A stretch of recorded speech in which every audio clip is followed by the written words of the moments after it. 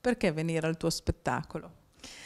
Beh, perché prima la, music- la music- musicalità brasiliana eh, è bellissima, c'è, c'è di tutto, eh, c'è, de- c'è, del jazz, c'è della tradizione delle storie brasiliane che raccontano la storia dell'uomo che, che parte dal nord-est, quest'area molto secca che va a lavorare eh, nel sud, c'è il lamento, c'è la sofferenza, c'è l'allegria, il carnevale, quindi eh, la musica è già meravigliosa. Poi questa volta anche per me è un, è un, concerto nuovo, quindi sono molto felice e entusiasta di, di, vedere che cosa sarà. Sarà come un'onda, proprio una sorpresa perché siamo mm, tre persone e tre artisti molto diversi fra di noi.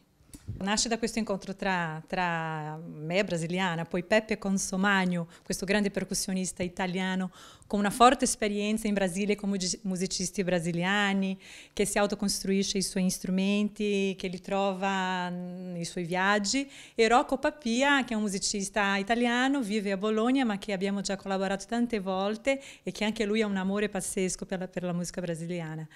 Poi eh, questo connubio di, di, di, delle nostre na nature musicali eh, ha creato proprio un concerto particolare, come un'onda, che è un concerto che facciamo, lasciamo che parlino gli strumenti, la musica e poi interferiamo noi. Questo spettacolo dove si potrà vedere?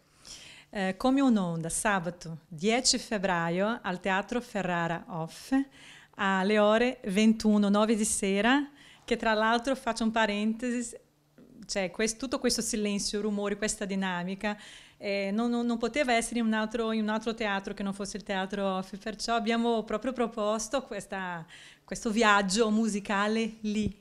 Quindi vi aspetto tutti, sarà un incontro anche fatto per voi e con voi, una alchimia.